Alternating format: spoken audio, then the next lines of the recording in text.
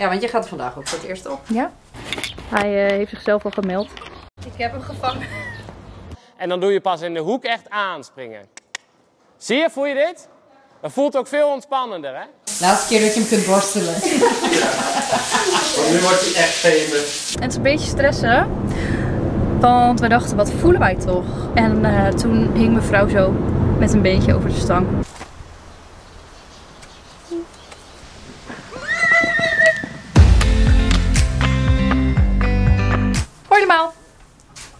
Kijk eens wie hier hard aan het werk is. Kijk eens wie er weer gewoon staat te filmen.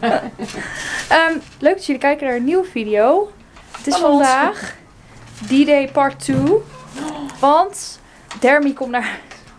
Maar is nu er niet. Dermatitis. dermatotitis. Dus we zijn nog even aan het uitmesten. Sorry, ik heb jouw schoenen aangedaan. Ja, we hebben elkaar schoenen. Ja. Ik zie je echt. Daarom liep ik net zo gek, denk ik. Meteen wordt afgeknipt. Ja, Nee, het kan nog wel even. Eh, ja, we gaan eh, alles even klaarmaken. Ja, ik zal even vlas in de shetty-stal gooien. het Want mijn paard gaat nu die stal inpikken. Ja, het meeste hadden we natuurlijk al wel gedaan van de week. Alleen het vlas moest nog bezorgd worden. Als je de vorige video hebt gezien, dan eh, heb je dat misschien gehoord. En jij hebt nog een paar hele leuke aanschafjes die je in de stal wil hangen, toch? Maar ga jij dat soort dingen erin hangen en dan mest ik wel even uit. Ja, dat kan ook wel. Ik kan even eerst daar eh, vlas in gooien. We zijn in ieder geval dus eerst dingen aan het klaarmaken. Ja. En dan ehm, gaat Iris chauffeuren. Uiteraard. Want eh, het ging wel helemaal allemaal mis op het laatste moment. Want dus eh, zou er anders chauffeur zij me, die heeft daar ook gebracht. Ik heb nog ergens een auto van iemand afgetroggeld die een trailer trekt. En eh, Dus het gaat toch vandaag gebeuren. Want Ja. anders werd het waarschijnlijk weer een week later. En dan schiet het niet op. ja, je Ik hebt er ook nu een ook keer- op voorbereid en op verheugd dat hij weer thuis komt. En dat is Ja. jammer als je daar weer op moet Ik wachten. ben ook wel gewoon benieuwd eh, hoe ze is en zo. Ja, want je gaat vandaag ook voor het eerst op. Ja. Ik ben echt zo benieuwd. Ik ook. En niemand kan me vangen. Dus eh, nee, geintje. Helemaal leuk, joh. Ja. Spannende video dit. Oh. Terwijl Iris even nog lekker aan het poepscheppen is. Ehm, ja. Ga ik hier maar... eh, Nee, wacht. Ga ik hier even wat vlas in doen. En ze hebben hier dus al ingestaan, want dit hooinet zat vol. en die is nu half vol. Dus daar zal ik ook nog even wat in stoppen. En dan moet dit nog uitgeparkeerd worden. Dit aan de kant. En eh then we can go.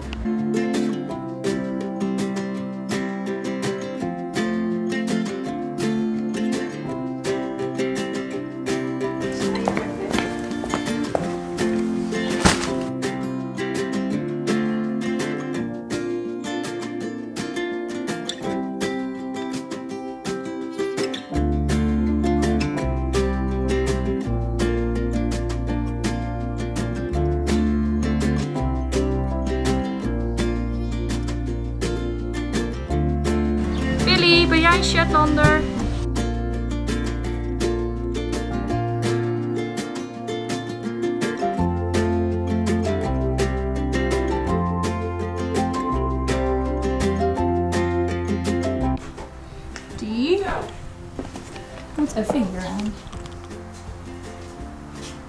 En die wortel moet ik even hier aanmaken, maar ik weet nog even niet hoe. Wij zijn weer aan het uitmesten en het gebeurt echt misschien wel drie keer per jaar dat er ineens een pakiet door de tuin vliegt die weggelopen, vlogen is. En dat is nu weer het geval. Ik zag echt ineens iets felblauws zo voorbij vliegen. Nu ben ik hem kwijt, denk ik. Maar ik heb al geprobeerd of die gepakt zou worden. Nou, dat eh, vond hij niet zo leuk. Maar ik ga hem even zoeken voor jullie. Oh, daar gaat hij. Kijk, daar zit hij.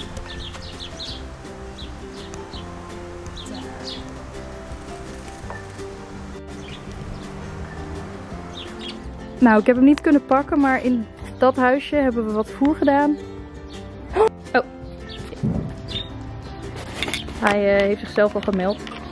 Die vogel kent jullie niet. Bailey, hier. Hier is.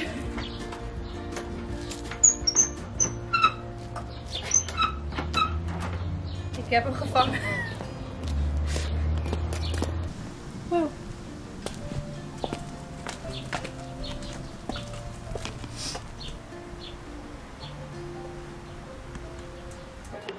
Honderd keer afgeleid, maar... eh, We hebben. Het is gelukt. De kleuterstal is ingericht. Hier hangt de wortel. En uh, de likje. En hoi. En dat was eigenlijk wel. Nou, de parkiet is gevangen. Die zit in het kippenhok. Geen idee of die daarin blijft. Want ik denk dat aan de bovenkant zou die er nog wat tussendoor kunnen. Maar hij zag er een beetje zwak uit. Dus ik heb geen idee of hij dat ook echt gaat doen. Maar ik heb eh, voer en water er neergezet. En hij heeft een zandbadje. En eh, ja, we hebben het in de buurtapp gezet. Dus als iemand eh, zijn parkiet kwijt is, dan kunnen ze misschien opkomen halen. En als hij weg is, is hij weg. Ik ben eventjes naar achter aan het lopen. Naar het paadje. Want ik doe hier even het hekje dicht, zodat de paarden aan die kant blijven. Dus eh, in de wei. Want dan kunnen we Ernie rustig uitladen in de voorste wei zonder dat ze gelijk allemaal op elkaar eh, gaan. Want we eh, willen ze wel even langzaam aan elkaar laten wennen. Ze niet gelijk bij elkaar gooien. Hallo, wat kijken jullie verbaasd? Hallo. Oh. Zo, even dit hekje dicht. Deze er. Ah, met één hand is dit allemaal zo moeilijk, jongens. Ugh. Hij zit. Even dit hekje. Eh, ja, we willen ze dus wel veel langzaam aan elkaar laten wennen. Dus misschien dat we de paarden dan voorzetten en er niet eerst even in de bak. En dat we kijken hoe ze op elkaar reageren zo. Of het aandurven om ze dan eerst hier samen te zetten. Jeetje, wat overbelicht. Eh, en waar we ze dan voor het eerst samen gaan zetten. Hier in de wei, zodat ze alle ruimte hebben. Of juist voor, zodat we ze gewoon weer snel te pakken hebben. Uh, dat moeten we eventjes uh, aanzien, hoe ze op elkaar reageren. En de vorige keer bij Ernie en Winston hebben we het wel gedaan. Maar dit zijn natuurlijk allemaal merries en ja, toch even afwachten. En ik ben nu bij de waterbak. En die is nog half vol. Dus die kan ik nog even bijvullen. Ik ga hem toch nog even bijvullen. Zo. Deze ook goed dicht. Want ze stonden dus laatst. Toen het een beetje waaide. Is dit opengewaaid. En City stond toen hier in de tuin. Uh, Roos stond nog in de wei. En de chatten waren hier door de tuin aan het rennen. Dus dat is niet heel handig. Dus ik heb gecheckt of die dicht zit en hij zit dicht. Ik uh, sta hier even half gebukt. Want ik heb geen statief onder de, onder de camera zitten. Maar ik ga nog even een hooinetje vullen voor in de trailer. Want dat het zit weer helemaal in de knoop.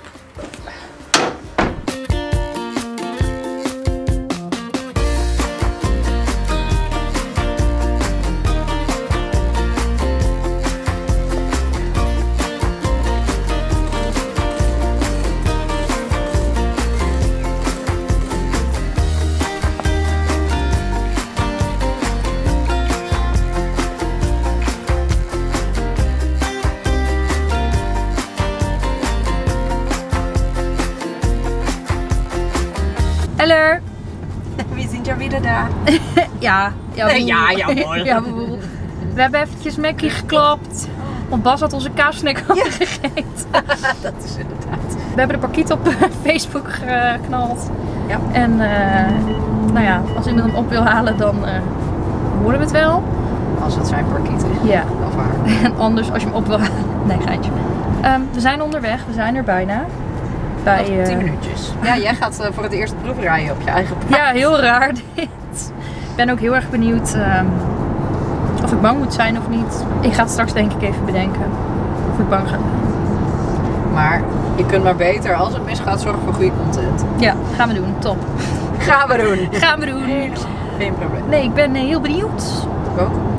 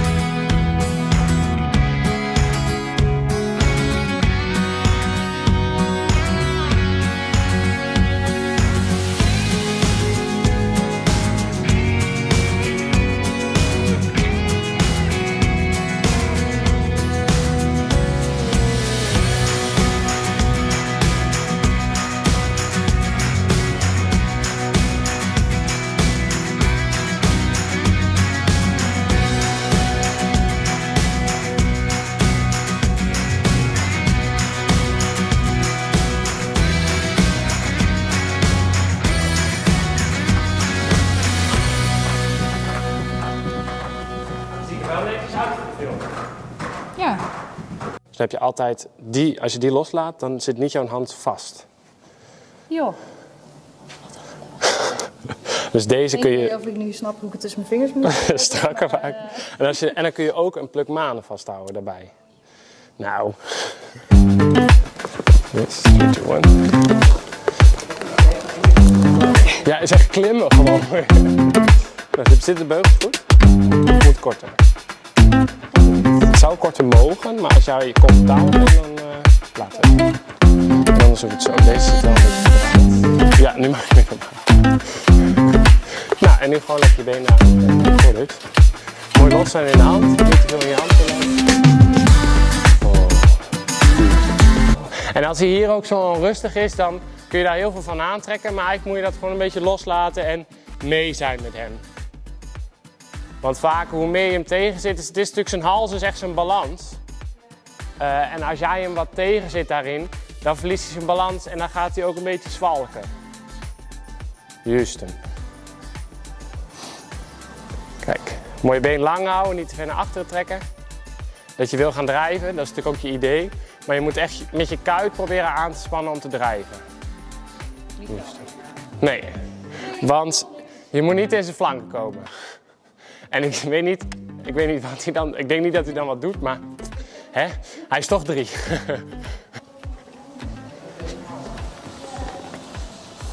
maar hij misstaat daar niet trouwens. Vind ik niet.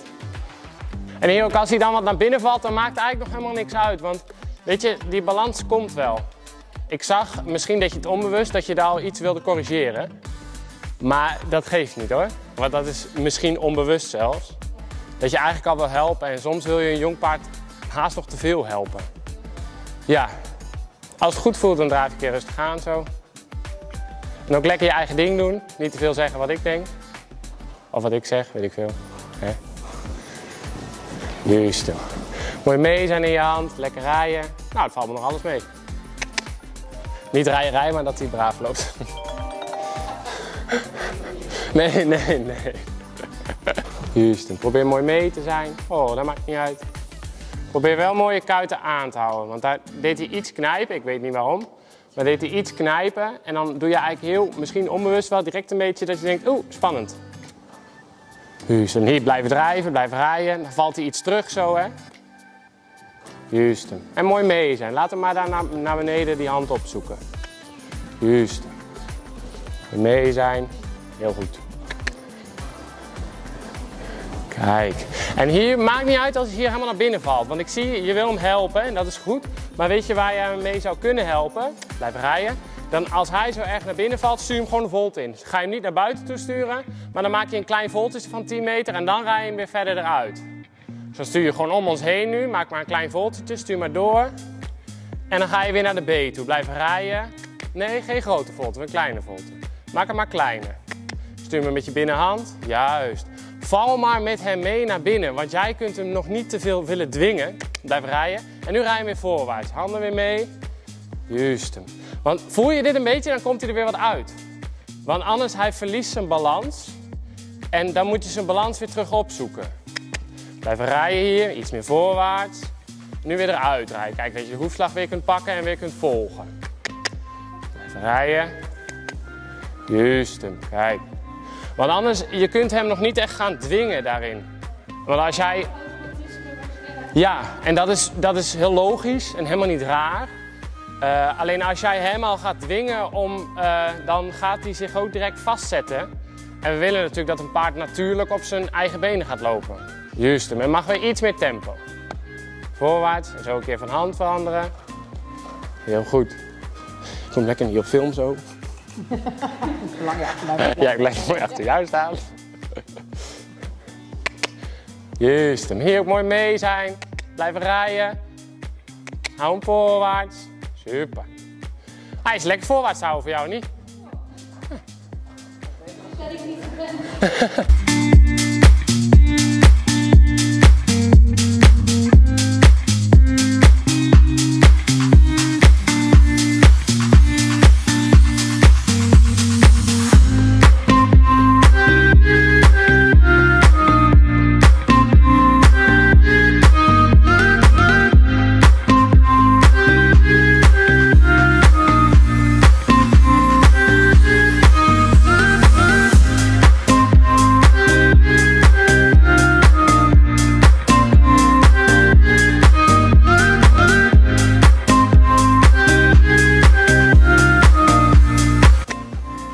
te veel naar achteren je benen brengen.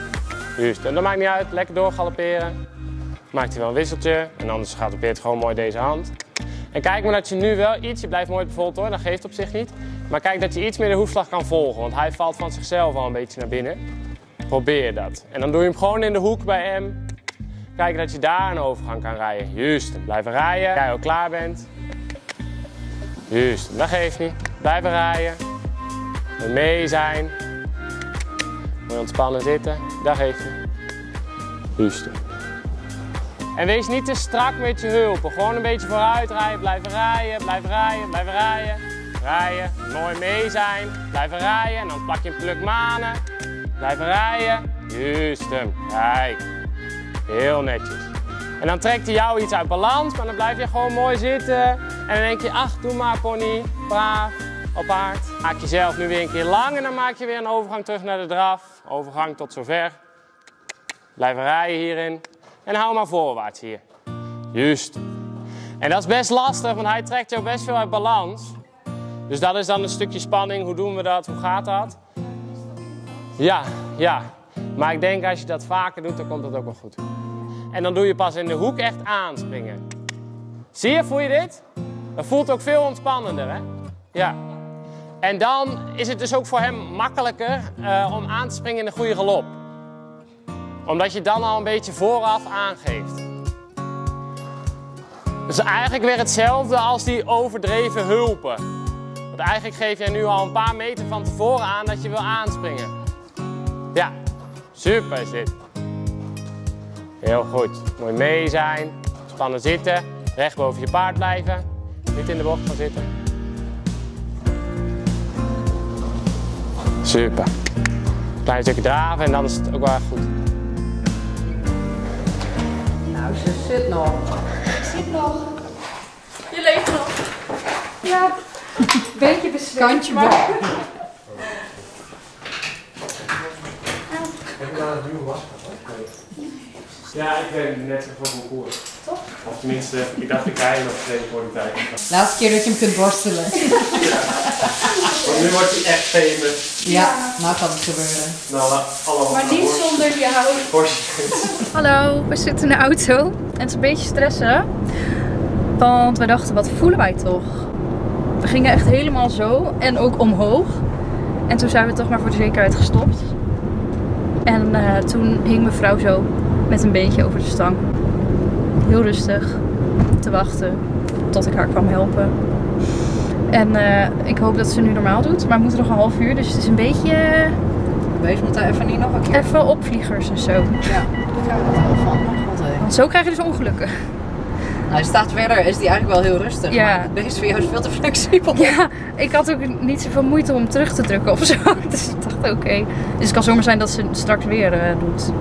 Nee. Nee, maar het gaat al even goed, dus geen Nee. probleem. Maar goed, het rijden ging dus goed, maar het terugrijden is eventjes een dingetje.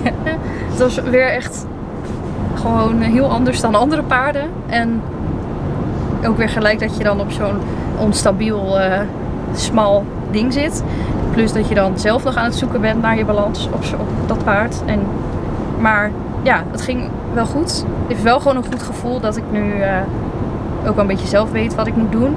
En, ehm, maar het is wel een paard wat eh, ik waarschijnlijk even de eerste dagen elke dag, ja eventjes 10 minuutjes, in ieder geval elke dag wel even wat doen.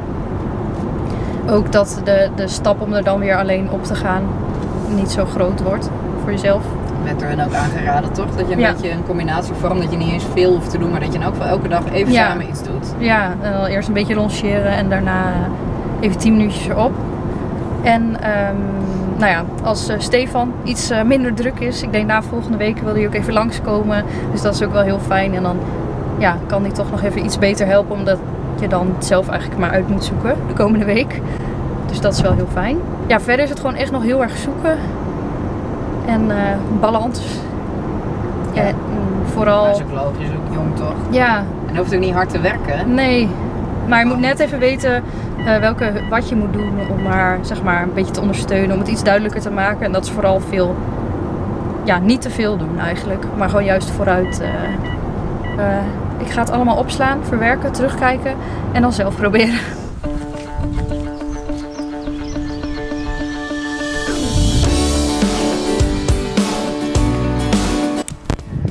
Nou, we hebben Ernie even in de bak gezet. En dan kunnen we eventjes ehm, de trailer afkoppelen en alles opruimen. En dan de paarden in deze wei zetten. Zodat ze een beetje kunnen neuzen. Ze vindt het wel prima. Nou jongens, we made it. Back home. En eh, Ernie staat nu even in de bak. Die is volgens mij alle kantjes aan het maaien. En Iris is even plassen. En dan gaan we de paarden gewoon via hier over de tegels even hier neerzetten. En dan kunnen ze eerst neuzen over het hek heen. Kijken of ze elkaar echt haten. Of eh, die parkiet zit daar weer. Hij is uit het hok gegaan. En nu zit hij weer in de tuin. Sorry, helemaal afgeleid. Ehm, ja, we gaan even de paarden pakken en dan zien jullie eh, hoe ze gaan meten. En Ernie maakt zich niet heel druk. Hallo! Over waar de, de andere paarden zijn. Nee.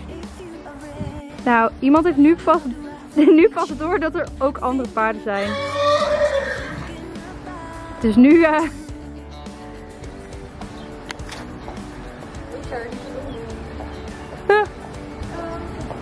Jongens! Ah, maar ik heb ook geen energie meer over.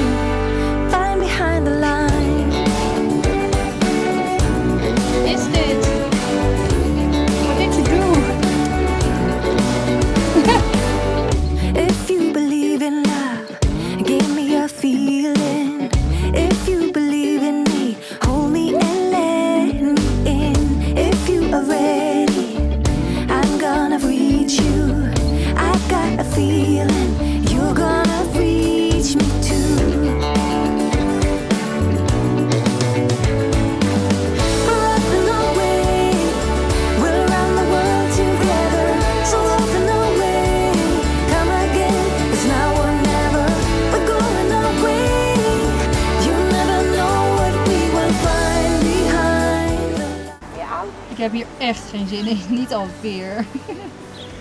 Oh, altijd een stom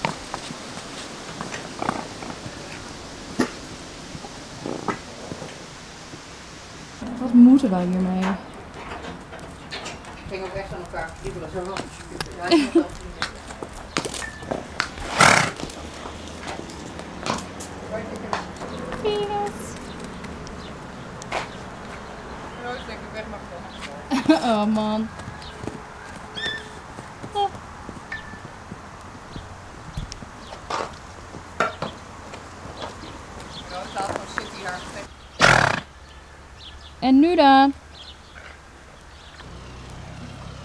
Vijfde wiel. Nou jongens, Zijn we weer. de paarden die eh, zijn op zich wel oké met elkaar, toch? Ja, was heel rustig hoor. En ook vannacht, eh, volgens nou ja, ik was er Was niet bij rustig. vannacht, maar eh, Nou, ik ben om half één nog in de stal geweest. Toen was ook alles heel vredig. daarvoor ook. En, Ja. Eigenlijk de eerste tien minuutjes heeft Roos geprobeerd Ernie een beetje door midden te buiten. Toen haar neus over de rand staan. begrijpt de hints ook gewoon niet. Nee. Die dacht, oeh, leuk. Oh, wil je vrienden worden? Nee! Maar eh, het is in ieder geval al beter dan eh, met Yellow. Dus er Ja, het is nu al rustig. is hoop dat, het- dat ze elkaar ooit leuk gaan vinden. Maar het is in ieder geval niet dat ze de hele dag achter elkaar aanjagen. En We gelukkig. houden een beetje gepaste afstand nog en eh Ja. valt het heel erg mee. Dus ehm, ja, dit was een beetje de, de eerste Dag? dag. Halve dag het ophalen en eh, voor het eerst rijden. En morgen, of ja, voor ons morgen, maar voor jullie eh, in de volgende video waarschijnlijk. ehm, ja, gaan we nog wat meer laten zien en hoe het verder thuis gaat. En Dat jij ermee aan de gang gaat voor het eerst zelf, toch ook? nee, ik hoop dat jullie het leuk vonden om naar deze video te kijken. Dat hoop ik ook. Dat hoop ik. En anders eh, ben je de lul, dan heb je hem toch afgekeken. dus bedankt voor het kijken en vergeet niet te liken en te abonneren. En eh, op het belletje te drukken, want dan krijg je een melding als de volgende video online staat. Dus deze week nog meer Ernie Spam. En dan gaan we weer eh, over tot de orde van de dag. Met de andere paarden. Spare me. Doei!